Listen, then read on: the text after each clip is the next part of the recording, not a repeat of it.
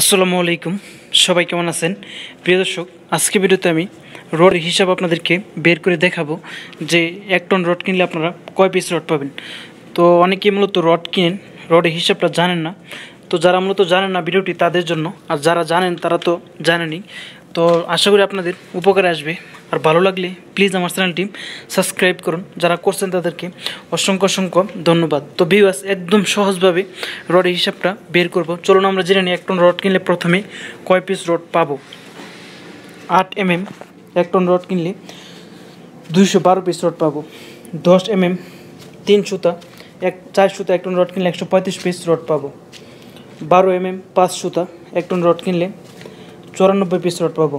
ষোলো M M ছয় সুতা, এক টন রড কিনলে তিপ্পান্ন পিস রড পাবো। বিশ এম এম সাত সুতা, এক টন রড কিনলে চৌত্রিশ পিস রড পাবো।